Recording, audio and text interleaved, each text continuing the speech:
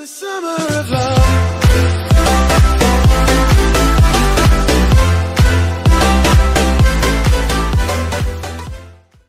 guys, what's up? Kestup here and today I will show you how to play PUBG on minimum system requirements or below minimum system requirements. So let's get started in this video. So first of all you have to open your favorite browser and write Google Chrome or google.com and google.com will open and it will take a little time which depends on your internet speed. And after that what you're gonna do is write download PUBG mobile. Mobile for PC and from that you have to just click on the second link which is our BlueStacks. And after installing the BlueStacks you have to you have to click on this download PUBG mobile which will install BlueStacks. And after that you have to open BlueStacks. I'll just minimize everything which I'm running. Like this this and just close my Chrome. And I will just refresh it for once.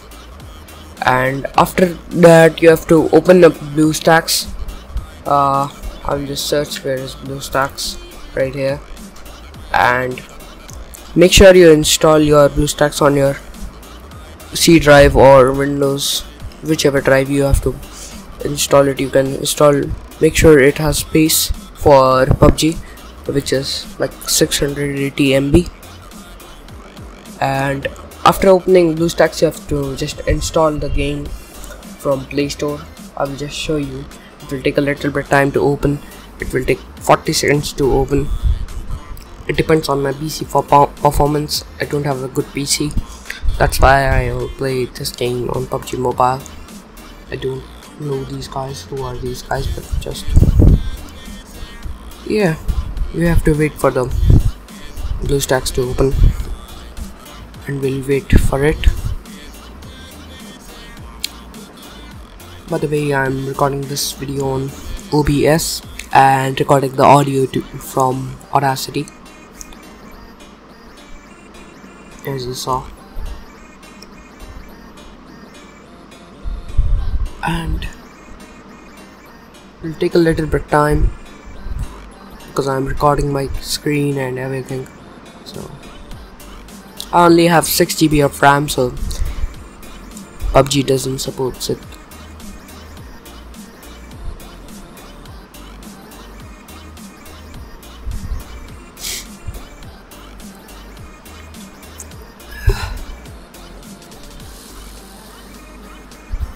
and here it is.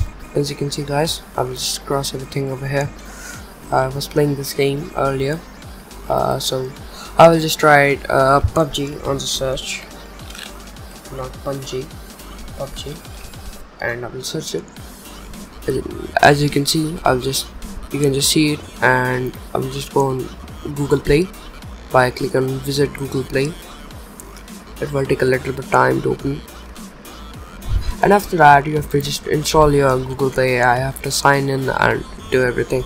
After installing the game you can see your game on your desk desktop. I'll just show you on my desktop. It will take a little bit time. And here it is. You can see you can just open and run it. Uh, my pc doesn't support recording and playing games so that's it guys. Thanks for watching. Please subscribe to my channel and have a nice day. Bye bye